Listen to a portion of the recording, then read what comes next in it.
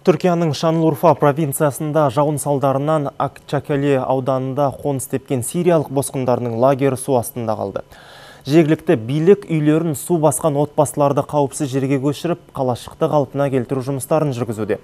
Құрылысшылар лагерге бірнеше тонна құм мен шағыл тас төсеп арнайы арықтар қазған естеріңізге сала кетейік сирияда қақтығыстар басталғалы бері көршілес түркияға 2 миллион 200 мың босқын бас сауғалап барған.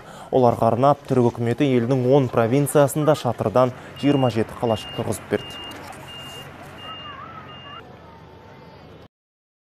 Түнімен жаңбыр жауып сириялық босқындар отырған үйлерді су басып қалды. Осыған байланысты ақшакале ауданының муниципалитеті босқындарға уақытында көмек қолын созып барлық қажеттіліктерін қамтамасыз етіп отыр.